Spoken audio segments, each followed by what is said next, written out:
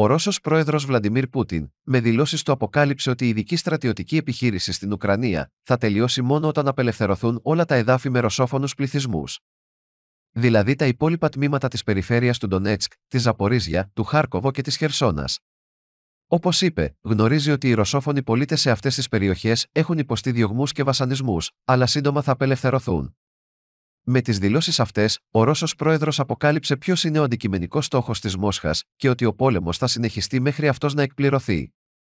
Είναι σαφές πως τουλάχιστον για αυτή τη στιγμή, η Οδυσσός μπαίνει σε δεύτερη μοίρα, παρά το γεγονός ότι αποτελεί ένα μεγάλο αγκάθι, στρατηγικά και τακτικά για τις ρωσικές δυνάμεις και ιδιαίτερα για το ρωσικό ναυτικό. Η εκαθάριση θα γίνει στις περιοχές που οι Ρώσοι διαθέτουν πλέον σημαντικό χερσαίο υπόβαθρο, το οποίο δεν μπορεί να αμφισβητηθεί με κανέναν τρόπο. Όπως είπε χαρακτηριστικά, θα απελευθερώσουμε τα εδάφη μας στην Οβοροσία.